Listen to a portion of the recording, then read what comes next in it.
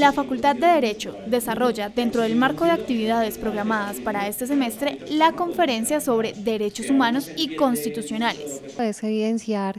que hay muchos discursos por descubrir, muchos discursos por escuchar y eh, exactamente es como, como una manera de tener cercanía con personas que son relevantes, con discursos eh, no solamente de derechos humanos y constitucionales, sino que, eh, digamos, variedad de temas. Se contó con la presencia de docentes y estudiantes que asistieron al evento para fortalecer sus conocimientos acerca del tema.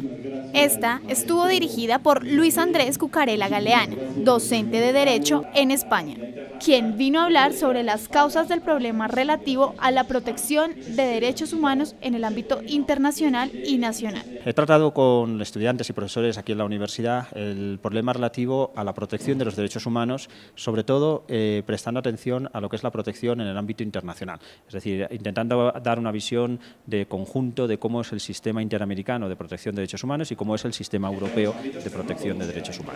Es bueno traer aquí las palabras con las que he acabado mi intervención, es decir, que retomar la idea y tener bien claro que la dignidad de la persona tiene que ser la base sobre la que construyamos las leyes y la base sobre la cual ellos estudien su, formación en, eh, en derecho, adquieran su formación en derecho. Que tengan bien claro eso, que están trabajando, van en el futuro, van a trabajar como abogados al servicio de personas y al servicio de los derechos e intereses de estas personas. Eso es el punto clave para que su formación sea lo más completa, tanto desde un punto de vista académico como personal.